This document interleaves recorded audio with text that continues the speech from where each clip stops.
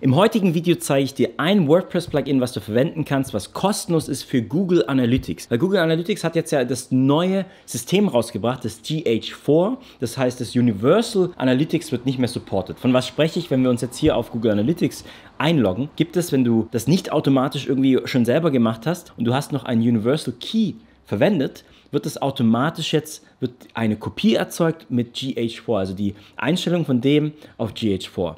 Und im heutigen Video zeige ich dir folgendes, jetzt auf meiner Webseite hier auf Exlima zum Beispiel, verwende ich ein Plugin mit diesem Design, wo ich hier zum Beispiel switchen kann zwischen drei Jahre, sieben Tage, 14 Tage, Users, ich kann sogar Page Views, also ein sehr simples Design, mit dem ich sehr viel sehen kann, ohne dass ich mich extra immer in Google Analytics einloggen muss. Und welches ich da jetzt heute verwende für diese neue Property, das will ich dir heute im Video zeigen. Warum ich das mache? Ganz einfach, es gibt da viele Plugins, zum Beispiel Monster Insight ist ganz oft immer genannt, aber die hatten mal eine kostenlose Version, die so viel gezeigt hat und irgendwann im Laufe der Zeit haben die immer mehr weggestrippt, also quasi weggeschnitten und es ist nur noch in der Paid-Version verfügbar. Und ich denke mir halt einfach, Moment mal, Google Analytics ist ein kostenloser Service, du kannst es mit deiner Webseite verbinden und siehst den Traffic von deiner Webseite. Und wenn du hier auf Google Analytics gehst und bist eingeloggt, dann siehst du auch alles. Warum soll ich denn nochmal extra zahlen, nur damit ich diese Daten, die da sowieso verfügbar sind, in meiner Webseite sehe? Ist meine Meinung, du kannst es anders sehen, du kannst die anderen supporten. Ich mag das schlichte Design von dieser Seite, von diesem Plugin hier zum Beispiel. Und ich hatte über die letzten Jahre immer wieder diese Plugins, die dieses Design hatten. So, das alte hatte ich aber, also, also mein altes Plugin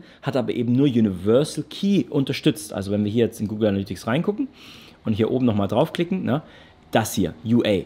Aber jetzt brauchen wir das neue, neue Property. Ja, ich gehe mal jetzt hier drauf, das sieht dann folgendermaßen aus. Du kannst zum Beispiel hier auch auf Verwaltung klicken und dann unter Verwaltung siehst du hier, da, Datenstreams. In den Datenstreams siehst du auch schon, ob das miteinander verbunden ist oder nicht. Ich kann das jetzt hier mal anklicken für meine Webseite. Wenn ich jetzt hier runter scrolle, dann sehe ich hier die Tag-Einstellungen. Du kannst das ignorieren, falls du es schon gemacht hast. Wenn nicht, ich zeige dir jetzt einfach, wo du die manuellen Tags findest für deine Webseite, also hier manuell installieren. Das ist der Code, der in deinen Header-Code von deiner Webseite muss. Das heißt, das kopiere ich und das kann entweder dann ins Plugin oder in meinem Fall gibt es, ich verwende ein Team, in meinem Fall Teamify. Dort kann ich in den Einstellungen Header-Code-Snippets hinzufügen. Wenn du irgendwo so ein Plugin oder deine Team das unterstützt, kannst du es an der Stelle machen. Aber egal, das Wichtigste für das Video ist jetzt, welches Plugin verwende ich denn jetzt? Also wenn ich hier auf Plugins jetzt gehe, ich verwende aktuell das Analytics Insights für Google Analytics for AI VP. Du kannst es folgendermaßen hinzufügen, sieht übrigens so aus.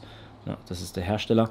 Und ich kann jetzt hier auf Add New oder installieren im Deutschen. Dann kann ich hier jetzt genau das eintippen in der Searchbar. Dann wird genau das hier auftauchen. Ist wie gesagt komplett kostenlos. Danach kannst du sogar den neuen GH4 connecten mit deiner Webseite und dann in den Einstellungen quasi nur noch aktivieren und dann that's it. So bekommst du dieses Dashboard, was ich für WordPress verwende. Zack mit den ganzen Einstellungen. Äh, eine kleine Info, ich habe mir die ganzen Videos angeguckt, weil es gibt eine komplette Videoserie von Google Analytics. Also Google Analytics hat auch einen YouTube-Kanal. Und als der Wechsel kam, weil ab Juli, Juli 2023 kann man das alte nicht mehr verwenden. Die haben das jetzt gestoppt, wird nicht mehr supported, tut keine Seitenviews mehr tracken. Das heißt, du musst wenn du Analytics verwendest, jetzt auf das komplett neue umsteigen. Ich werde jetzt nicht über die ganzen Einstellungen gehen, wie du das einstellt. Da gibt es eine Serie, wie gesagt, bei Google Analytics. Die haben aber darüber gesprochen und das ist vielleicht das Interessante noch. Man kann die zwei nicht mergen. Es kann zwar Daten übernommen werden, wie das, was ich dir hier gezeigt habe, dass wenn ich jetzt hier, ne, hier oben klicke, dass mir automatisch ein GA4 angelegt wurde